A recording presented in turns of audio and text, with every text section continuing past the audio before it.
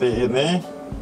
Dan kita lihat ke nah di sini ada float gel dan cell ya. Jadi kita pakai user kita enter kita save dan kita lanjut ke bawah yaitu nya 11,1 dischargingnya 10,6 dan undervoltnya reconnect 12,2 undervoltnya 12 jadi semua dikali 4 ya karena sistemnya 48 volt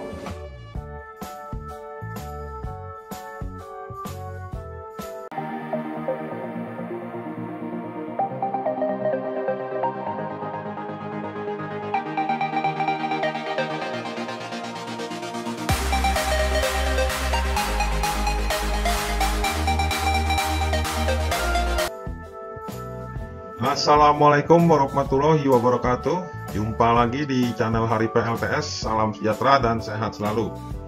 Ya jadi ada permintaan ya dari subscriber yaitu ADS Jadi bagaimana cara mencampur baterai campur aduknya antara FRLA dan LiPoPo Serta setting MPPT nya Oke kita langsung lanjut ke halaman berikutnya Ya, jadi sebelum skema lengkapnya ya, kita akan bahas yaitu untuk aki 12 volt 100 ampere hour dengan sistem 4P 2P.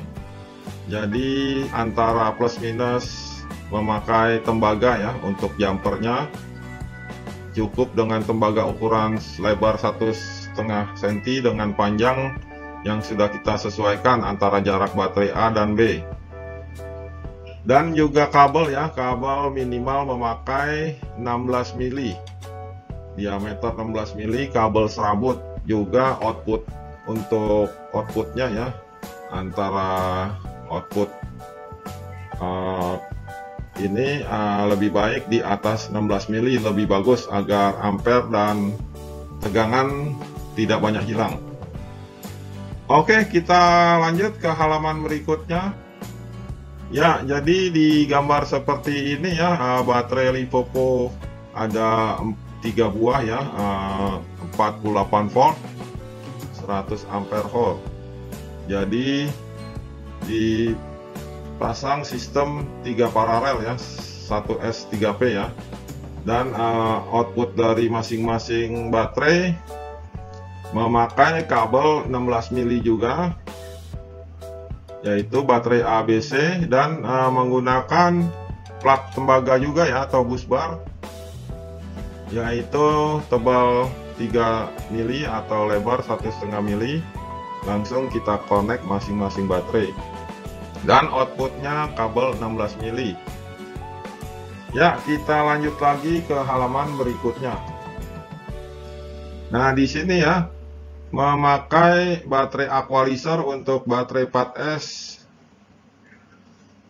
12 volt. Jadi untuk mencegah baterai cepat rusak kita menggunakan baterai Aqualizer balancer untuk FRLA jadi skema cara pasangnya seperti ini. Sehingga baterai akan awet. Jadi untuk cas dan discharge nya dia membagi voltasenya sama rata. Ya jadi langsung kita lanjut ke halaman skema lengkapnya. Oke jadi skema lengkapnya seperti di gambar ini ya. Uh, baterai 4S2P 12 volt banyak 4 buah di seri dan Livoco dan ada MCB, MPPT, solar panel dan inverter jadi aki 4S2P ini menghasilkan 48 volt ya.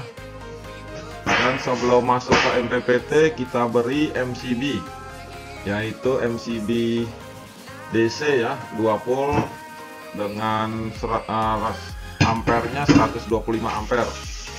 Begitu juga baterai Lipopo ya 48 volt sebanyak 3 buah outputnya masuk ke MCB 125 ampere. Dan dari MCB 1 ke 2 di paralel. Nah sehingga kita bisa ambil kabel masuk ke bus bar. Kabel minus dan kabel plus. Nah di sini untuk pembagian ya jadi kabel tersebut masuk ke MPPT dan masuk ke inverter. Nah di sini inverter 5000 watt ya inverter rakitan dengan MOSFET. Sehingga menghasilkan output 220 volt AC nah dari inverter ada MCB lagi 63 ampere untuk keperluan solar panel. Jadi prinsip kerjanya solar panel ini akan mencharging ke baterai. Jadi seperti itu Oke untuk keperluan kabel ya. Jadi kabelnya di daerah sini memakai 16 mili 16 mili dan uh, masuk ke output yaitu ke inverter 35 mili. Dan uh, ke MPPT juga bisa 35 mili atau 16 mili. Baiknya 35 mili supaya arus dan tegangan tidak banyak hilang jadi rangkaiannya seperti ini ya secara detail untuk aki campur FRLA dan baterai lipopo nya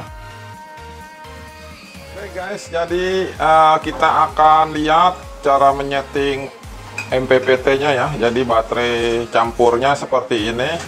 Baterai lipopo dan FRLA dan ini inverter sebesar 5 kW rakitan dan ini boxnya ya box kontrolnya ada voltmeter ampere meter baterai kontrol dan di sini uh, dia punya MPPT EPPER dengan daya 100 ampere ya.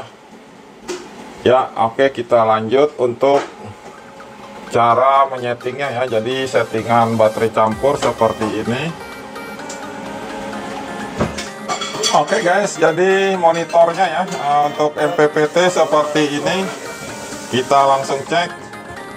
Ya, jadi sekarang ya uh, cuaca mendung hanya mendapat 6 ampere dan voltase di angka seperti ini. Ya, langsung kita lihat parameter baterai ya. Jadi di sini kita akan